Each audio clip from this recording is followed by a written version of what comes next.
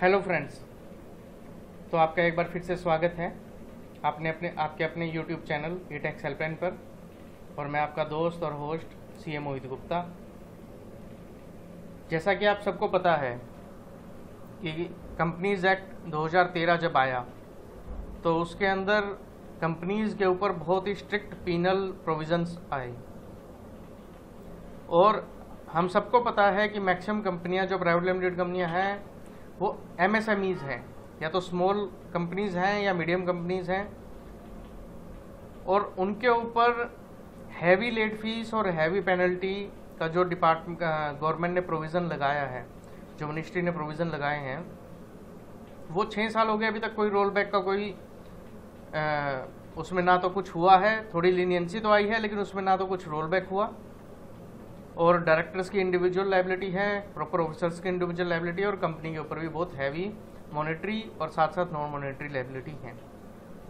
तो हमने हमने सोचा कि इसके ऊपर एक वीडियो बनाई जाए, जहाँ पे हम मेजर जो कंप्लायंस होते हैं प्राइवेट लिमिटेड कंपनीज़ के ऊपर, वो हम डिस्कस करें कि कौन कौन से मेजर कंप्लायंस हैं। अगर आपके पास एक प्राइवेट लिमिटेड कंपनी है या आप बनाने जा रहे हैं तो कौन कौन से मेजर कंप्लायंस हैं जो आपको करने होते हैं। क्योंकि पहले के मुकाबले कॉम्प्लायंस मल्टी टाइम्स हो गए हैं। मेरे को लगता है कॉम्प्लायंस होने चाहिए, लेकिन कंपनी के साइज़ के अकॉर्डिंग होने चाहिए। भाई, बड़ी कंपनीज़ हैं तो आप ज़्यादा नज़र रखिए, छोटी कंपनीज़ हैं तो आप अपनी कॉस्ट क्यों उनके ऊपर बर्बाद कर रहे हैं? Government have also need to analyse their cost और साथ के साथ उन कंपनीज़ की भी कॉस्ट कि अगर उन कंपनीज़ के ऊपर इतना ज़्यादा कॉस्ट का बर्डन और कॉम्प्लायंस का बर्डन हो जाएगा तो कहीं ना कहीं वो डिस्करेज होंगे फिर वो कंपनीज़ नहीं बनाएँगे। देन फिर वो दूसरे मोड ऑफ़ बिज़नेस की तरफ़ जाएँगे। और then government can it may be the possibility कि गवर्नमेंट कैन उन दूसरे जो लॉज हैं चाहे वो एलएलपी हो पार्टनरशिप हो फिर उसमें government there can be a situation कि वहाँ पे भी स्ट्रिक्टनेस करे कॉम्प्लाइंसिस की। सो so, इसीलिए हमने डिसाइड किया कि प्राइवेट लिमिटेड कंपनीज़ के ऊपर क्या क्या कॉम्प्लाइंस है हम वो सारे के सारे डिस्कस आज करेंगे। तो मान लीजिए आपकी प्राइवेट लिमिटेड कंपनी बन गई है तो सबसे पहला कॉम्प्लायंस भाई, सबसे पहला कॉम्प्लायंस है, आपको अपने रजिस्टर्ड ऑफ़िस के बाहर बोर्ड लगाना है। और उस बोर्ड के अंदर कंपनी की सारी कंपनी की सारी डिटेल्स होनी चाहिए। कंपनी का नाम सी नंबर रजिस्टर्ड ऑफ़िस का एड्रेस प्लस कम्युनिकेशन डिटेल्स जो कंपनी की रजिस्टर्ड रजिस्ट्रेशन करवाते हुए आपने दी हैं। दूसरा आपको कंपनी का लेटर हेड छपवाना है ताकि कंपनी का ऑफिशियल लेटर हेड आपका बन सके। सील अब मैंडेटरी नहीं है स्टिल आप अपनी सील बनवा सकते हैं, आप चाहें तो। अब सील मैंडेटरी नहीं रही। तीसरा, आपको विद इन थर्टी डेज़ के अंदर कंपनी बनने के, आपको अपनी पहली बोर्ड ऑफ़ डायरेक्टर्स की मीटिंग करनी होती है और उस बोर्ड मीटिंग में आपको ऑडिटर अपॉइंट करना है और बहुत सारे आपको फैसले लेने होते हैं। वो कभी डिटेल में बाद में एनालाइज करेंगे कि फ़र्स्ट बोर्ड मीटिंग में क्या क्या करना होता है। लेकिन बेसिक चीज़ें ये होती हैं कि आपको अपना एम ओ अडोप्ट करना होता है डायरेक्टर्स की क्वालिफिकेशन देखनी होती है, और ऑडिटर को अपॉइंट करना होता है। देन उसके बाद आपको शेयर सर्टिफिकेट इशू करने होते हैं कंपनी बनने के साठ दिन के अंदर। देखिए कंपनी बनी बैंक अकाउंट खोलना है बैंक अकाउंट खुलते ही आपको अपना एप्लीकेशन बनी, डालना है बैंक में। और फिर आपको शेयर सर्टिफिकेट इशू करने हैं। और जैसे ही आपके अकाउंट में पैसा आ जाए शेयर सर्टिफिकेट आपने इशू कर दिए तो आपको कमेंसमेंट ऑफ़ बिज़नेस के लिए अपना एप्लीकेशन फॉर्म फ़ाइल करनी है। और वो within one eighty days आपका हो जाना चाहिए कमेंसमेंट का फॉर्म देन उसके बाद आपको डिस्क्लोजर ऑफ़ इंटरेस्ट डायरेक्टर्स का डिक्लेयर करना होता है। प्राइवेट लिमिटेड कंपनीज़ के अंदर, छोटी कंपनीज़ के अंदर आपको वो डिस्क्लोजर आरओसी में फ़ाइल नहीं करना होता है। ये डिस्क्लोजर आपको एमबीपी वन में लेना होता है। देन उसके बाद ये आपको एश्योर करना है कि आपकी प्राइवेट लिमिटेड कंपनी में जहाँ मिनिमम टू डायरेक्टर्स हैं, उनमें से एक डायरेक्टर रेजिडेंट इन इंडिया हो। रेजिडेंट इन इंडिया का मतलब ये है कि वो इंडिया में मोर देन 180 डेज़ के लिए प्रीवियस ईयर में अवेलेबल हो। प्रीवियस ईयर मतलब फाइनेंशियल ईयर जो मेरा चल रहा है, एक सौ बयासी दिन से ज़्यादा इंडिया में एक मिनिमम एक डायरेक्टर आपका रहना चाहिए। ये एक मैंडेटरी रिक्वायरमेंट है, हर प्राइवेट लिमिटेड कंपनी में एक रेजिडेंट डायरेक्टर आपका होना मैंडेटरी है। Then register registers. आपको बहुत सारे रजिस्टर्स मेंटेन कर आपको रजिस्टर मेंटेन करने होते हैं आरओसी में कुछ मैंडेटरी रजिस्टर्स होते हैं जैसा register of share holders then share transfer और ट्रांसमिशन के रजिस्टर आपके होते हैं अदर स्टेक होल्डर के रजिस्टर होते हैं कोई चार्ज अगर आपकी कंपनी पर है उस रजिस्टर ऑफ़ चार्ज आपको मेंटेन करने होते हैं और देन इंडेक्स ऑफ़ रजिस्टर्स आपको मेंटेन करना होता है। और ये सारे रजिस्टर्स सभी शेयर होल्डर्स के लिए आ, सभी वर्किंग डेज़ में वर्किंग टाइम में अवेलेबल होने चाहिए। They can visit and they can inspect then इसके अलावा कुछ और भी रजिस्टर्स होते हैं जो की मैनेजर पर्सन वगैरह के लिए होते हैं। तो ये रजिस्टर्स जनरली के वगैरह के जो रजिस्टर होते हैं, थोड़ी सी मीडियम साइज़ कंपनीज़ के लिए आप पाएँगे कि अवेलेबल हो एप्लीकेबल होते हैं। लेकिन जो हमने रजिस्टर्ड बेसिक डिस्कस की है, वो हर किसी कंपनी को, चाहे आपकी कंपनी में इवन ऑपरेशन भी ना हो ज़ीरो पे आपकी प्रॉब्लम कंपनी हो तो भी आपको ये रजिस्टर मेंटेन करने हैं। देन आपको जितनी भी आपकी बोर्ड मीटिंग्स होती हैं, उन सब की आपको मिनट्स रखनी है अपने पास। अब बोर्ड मीटिंग पे आते हैं। जो स्मॉल कंपनीज़ हैं, उनको साल में मिनिमम दो बोर्ड मीटिंग करनी है। अदर देन स्मॉल कंपनीज़ को साल में चार बोर्ड मीटिंग मिनिमम करनी है। दो बोर्ड मीटिंग्स के बीच में 120 दिन से ज़्यादा आपका गैप नहीं होना चाहिए।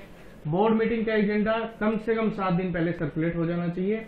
हालाँकि आप अमरजेंट बोर्ड मीटिंग्स भी कर सकते हैं विद लेस नोटिस देन इसके बाद uh, अगर आप नया डायरेक्टर अपॉइंट कर, करना चाहते हैं तो आपको D I R two form file करना होता है with the consent of directors sorry D I R twelve form file करना होता है with the consent of director in form D I R two then her director का जो डिन है वो वेरीफाइड होना चाहिए आरओसी से, हर साल होना चाहिए। D I R three KYC के थ्रू हर डायरेक्टर का डिन वेरीफाई हो रहा है आजकल। तो आपको हर साल डायरेक्टर का डिन वेरीफाई करना है।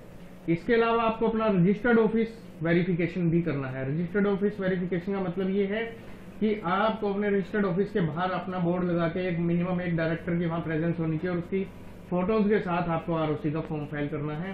तो ये एक एनुअल एक्सरसाइज है रजिस्टर्ड ऑफ़िस की भी। और हर डायरेक्टर का भी D I R three K Y के थ्रू डिन वेरिफिकेशन होता है ओटीपी के थ्रू जो मोबाइल नंबर और ईमेल आईडी पे जाता है और यूनिक मोबाइल नंबर और ईमेल आईडी पे जाता है इट मीन डायरेक्टर का पर्सनल ईमेल आईडी और मोबाइल नंबर होना चाहिए। देन इसके अलावा रेजिग्नेशन ऑफ़ डायरेक्टर अगर होता है तो आपको डी आई फ़ाइल करना होता है within thirty days of resignation तो अपॉइंटमेंट और रेजिग्नेशन दोनों के केस में थर्टी डेज़ के अंदर आपको D I R twelve file करना है अदरवाइज़ आपके ऊपर लेट फ़ीस लग जाएगी। देन फ़र्स्ट ऑडिटर आपने अपॉइंट कर लिया फ़र्स्ट बोर्ड मीटिंग में। सब्सिक्वेंट ऑडिटर्स जो होते हैं, वो एनुअल जनरल मीटिंग में अपॉइंट होते हैं और एक ऑडिटर को आप minimum five maximum five years के लिए अपॉइंट कर सकते हैं। Now waiting of auditor in every AGM is not mandatory for small private limited company उस केस में आपने एक बार पाँच साल के लिए अपॉइंट किया एडीटी वन फ़ाइल किया मैटर क्लोज पाँच साल बाद आपको दोबारा कंसिडर करना है रिअपॉइंटमेंट करनी है या चेंज करना है। Within a period of appointment अगर ऑडिटर रिजाइन करना चाहता है तो ही कैन रिजाइन आप निकालना चाहते हैं तो आप निकाल सकते हैं. There is a procedure for that then AGM AGM आपको 30 सितंबर से पहले, हर साल की एजीएम 30 सितंबर से पहले आपकी हो जानी चाहिए. 21 दिन का क्लियर नोटिस आपको शेयर होल्डर्स को भेजना है. तो मान लीजिए आप अपनी एजीएम 30 तारीख को भी रखते हैं तो मिनिमम 8 सितंबर को आपको अपना नोटिस रिलीज़ करना होता है. और नोटिस रिलीज़ करने से पहले आपके balance sheet financial statement directors reports वगैरह सब कुछ फाइनलाइज होनी चाहिए। देन आपको हर साल आरओसी की रिटर्न फ़ाइल करनी होती है, जिसमें मिनिमम दो रिटर्न होती हैं। एक एओसी फोर जिसमें आप अकाउंट फ़ाइल करते हैं, और एक एमजीटी सेवन जिसमें आप अपनी एनुअल रिटर्न फ़ाइल करते हैं। जिसमें आप list of share holders and further details जो आपकी हैं, वो आप डिस्क्लोज करते हैं। तो ये सारी की सारी रिटर्न एनुअल रिटर्न आपको साठ दिन के अंदर एजीएम होने के साठ दिन के अंदर आपको एनुअल रिटर्न फ़ाइल करनी होती है फॉर्म एमजीटी सेवन के अंदर। और कंपनी सेक्रेटरी से भी उसमें आपको कंसेंट लेनी होती है एक स्पेसिफिक लिमिट के बाद। देन डायरेक्टर्स रिपोर्ट आपको form AOC four annual general meeting होने के 30 डेज़ के अंदर फ़ाइल करनी होती है, जिसमें डायरेक्टर्स रिपोर्ट भी आप फ़ाइल करते हैं नोटिस भी फ़ाइल करते हैं, अपने साइंड फाइनेंशियल स्टेटमेंट भी आप फ़ाइल करते हैं। अगर आप एक फॉरन कंपनी है तो आपको अपनी एनुअल रिटर्न आपको अपनी annual return within two month from the end of financial year mean इकतीस मई से पहले आपको एफ़ सी फोर के अंदर फ़ाइल करनी होती है, जिसमें आप साथ के साथ अपने ऑडिटेड अकाउंट्स भी लगाते हैं।